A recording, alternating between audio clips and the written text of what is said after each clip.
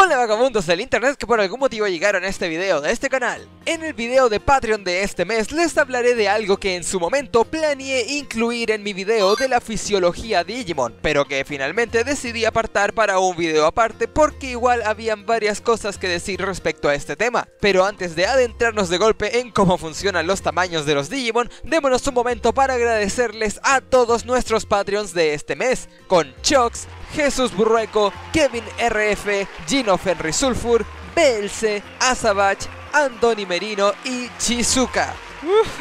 Este mes sí que fueron muchos, mil gracias a todos. En un comienzo, entender el funcionamiento del tamaño de los Digimon es algo bastante sencillo. Los Digimon, como ya sabrán, están compuestos de data y la data esencial de cada Digimon se encuentra almacenada en su Digicore, el cual cumple con el rol de ser el corazón, mente y alma del Digimon. En este caso, la data del Digicore es también el determinante que le dará su tamaño al Digimon, ya que a mayor cantidad de data almacenada dentro del Digicore, mayor será el tamaño del el Digimon. Esta data puede aumentarse de muchas maneras, como por medio de la alimentación, la absorción de data del medio ambiente o por la absorción de la data de otros Digimons u objetos como se ha visto en los casos de Devimon en Digimon Adventure o de Darkness Bagramon en Digimon Cross Wars. Es por esto que Digimons como Grace Novamon o Examon son tan enormes, puesto que ambos son igualmente de los Digimon que más data poseen acumulada dentro de sus cuerpos. Aún así, cada especie de Digimon parece tener un límite de tamaño determinado que no le permite crecer más allá llegado a cierto punto. Es por esto que Digimons como Duftmon en Cyber Sleuth u Omegaon Alter B en Next Order no se volvieron gigantes luego de absorber tales cantidades abismales de data en un corto periodo de tiempo, ya que estos ya habían alcanzado su tamaño máximo. Es por esto también que no tenemos cosas como un Agumon del tamaño de un edificio, sino que su tamaño varía levemente siempre estando dentro de un mismo rango. En el caso de los Digimon Baby, este rango parece ser mucho más limitado, pues la mayor parte de los Digimon de este nivel son del mismo tamaño. Esto también nos lleva a un concepto que no es muy explorado en la franquicia. Los Digimon aparentemente tienen un tamaño por defecto, algo así como un estándar de tamaño asociado a cada especie ignorando el factor data. Esto lo podemos ver ejemplificado en cosas como las comparativas de tamaños oficiales encontradas en los manuales de los bipeds o en el artbook oficial de Digimon, donde se nos muestra el tamaño estándar de algunas especies de Digimon.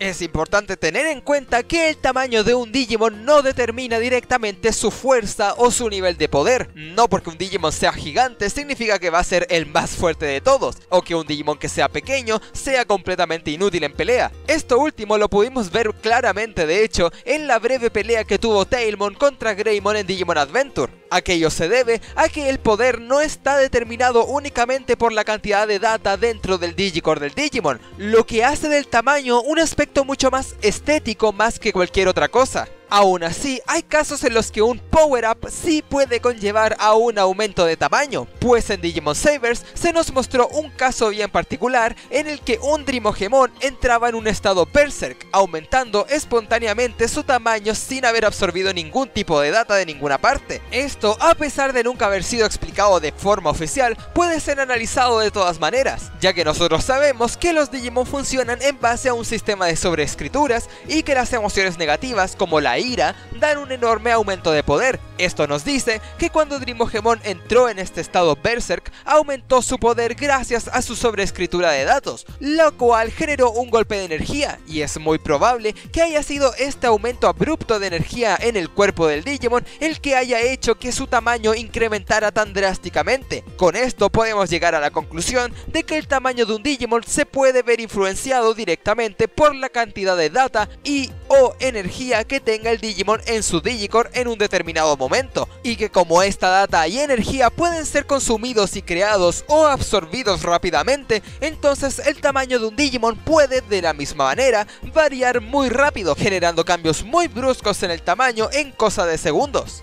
Sin embargo, el aumento de tamaño de un Digimon no siempre significa cosas buenas, ya que como se nos mostró en Digimon Story Cyber Sleuth, Digimons como Examon requieren un enorme suministro de energía y data de forma permanente para mantenerse en funcionamiento, debido a la enorme cantidad de data que este posee por defecto en su cuerpo, por lo que un Digimon muy grande puede volverse en verdad muy ineficiente si es que no tiene un suministro fácil de energía en todo momento, lo que a su vez puede llevarlo a cansarse rápido y no ser demasiado eficaz en una pelea. Aparte de esto, un Digimon con enormes cantidades de data tiene mayores dificultades para moverse entre mundos, especialmente para atravesar la red, ya que como su tamaño de data es tan grande, este simplemente no cabe a través de esta. Es por esto que muchos Digimon solo logran entrar al mundo humano desde el mundo digital una vez la pared dimensional haya sido destruida total o parcialmente, ya que de cualquier otra forma, la red actuaría como una especie de filtro que evitaría el acceso de tales cantidades de data al mundo humano, como fue el caso que se nos mostró para los Great Demon Lords en Digimon Savers Another Mission. ¿Y qué les ha parecido este video? ¿Han aprendido cosas nuevas? Este video resultó un poco más cortito del usual, pero era información bastante interesante que merecía ser compartida con ustedes. Y además, creo que este mes ya han tenido suficientes videos largos como para reventarse la cabeza con información. Si les gustó este video, no duden en compartirlo y darle like para que más gente pueda verlo, y si es que aún no lo has hecho, también les agradecería mucho que se suscriban al canal. Sorprendentemente, hay un porcentaje bastante grande de gente que ve mis videos regularmente y que por algún motivo no se han suscrito nunca así que nunca está de más recordárselos otra vez.